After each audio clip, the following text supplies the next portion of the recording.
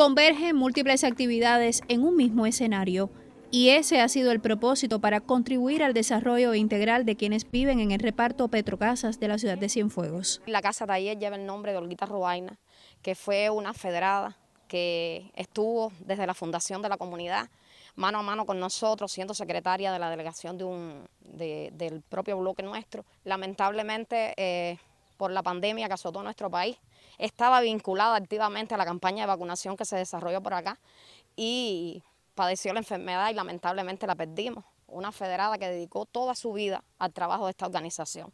Y entonces la dirección del bloque, conjuntamente con la Federación de Mujeres Cubanas, decidimos que la casa nuestra llevara, eh, haciendo honor a esta gran mujer, el nombre de Olguita Robaina. Aquí se hacen actividades de yoga, de ejercicio físico, se hacen té, vienen los especialistas de salud pública y le dan conferencias, charlas educativas para los adolescentes. Y muy importante, tenemos la escuelita Simón Bolívar, que se creó también con nuestra comunidad y hoy todas las especialistas que tiene en la escuela están también vinculando a nuestros niños a la casa taller.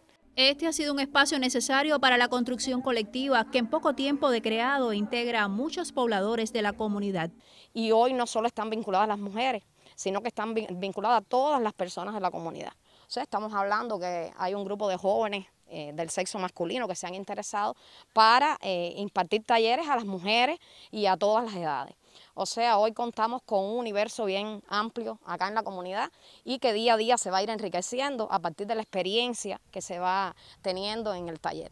El objetivo es el trabajo con los niños, con los jóvenes, con los ancianos, incorporar las tres generaciones y, bueno, sacar pues lo mejor de cada uno.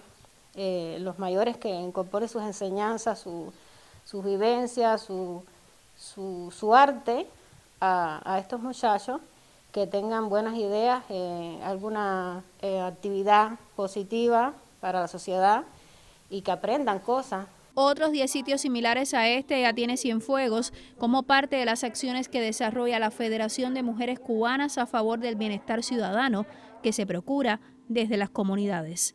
Mayelín del Sol, Sistema Informativo de la Televisión Cubana.